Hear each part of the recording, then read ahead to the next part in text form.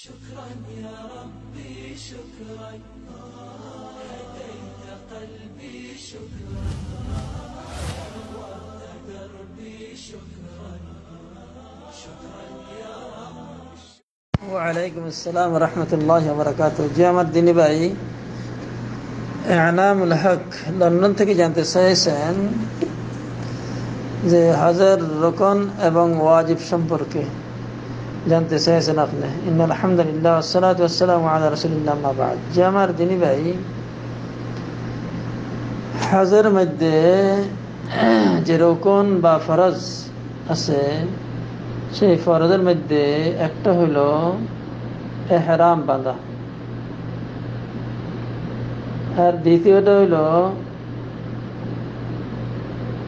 আরাফার ময়দানে অবস্থান করা। তিন নম্বর হইল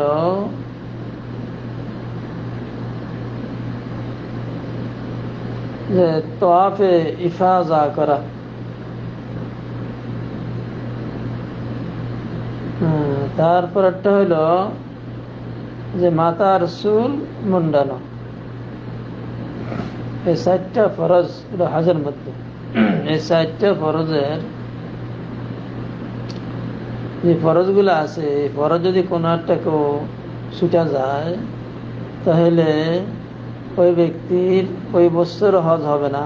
হজের সামনের কাজগুলা শেষ করে সামনের বছর আবার হজ করতে হবে। আর ওয়াজিব যেই, কতগুলো ওয়াজিব আছে, তার মধ্যে একটা হইল মিকাত থেকে এহরাম বাঁধা।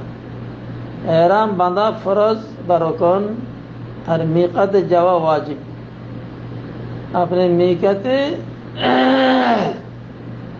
আপনি ইচ্ছাকৃতভাবে মিকাতে যান নাই। মিকাতে গিয়ে আপনি এহরাম বাঁধেন নাই, তাহলে আপনার ওয়াজিব তরক হবে, আপনি কি করতে হবে? দম দিতে হবে। অর্থাৎ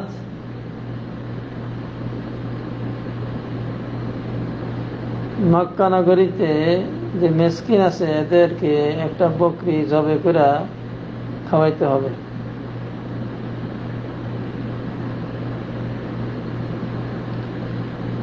এই দম দেওয়া ওয়াজিব। যদি হজের কোনো ওয়াজিব তরক হয়ে যায়, তাহলে হাজির উপরে দম দেওয়া ওয়াজিব হয়ে যায়। দম দিলেই ওনার হজ আল্লাহ কবুল করবেন ইনশাআল্লাহ। আপনি যে বলছেন কেউ এহরাম বাঁধলো না, নিকেতও গেল না, চলে আসলো। ওই ব্যক্তি আয়সা মসজিদে গিয়ে এহরাম বাঁধলে তার জন্য হবে কিনা জি না ভাই। যারা যে রাষ্ট্র থেকে আসে, প্রত্যেকের আসার পথে মেকাত আছে। পাঁচটা মিকাত আছে। পাঁচটা পথ আছে মক্কায় ঢুকার, মক্কা মোকারামে ঢুকার জন্য। যে যেই রাস্তায় আছে, আসে ওই রাস্তায় তার জন্য মেকাত আছে। ওই মেকাত থেকে এহরাম বেঁধে আসতে হবে। যদি কেউ ভুলে গেল, সে আবার ফিরে মিকাতে ঢুকবো যেই কোনো একটা মিকাতে ঢুকবে ঢুকা এহরাম বাঁধবে, তারপরে ভিতরে ঢুকবে। এটি হলো নিয়ম। সাল্লাহ নবী সালামু আলাইকুম রহমতুল্লাহ।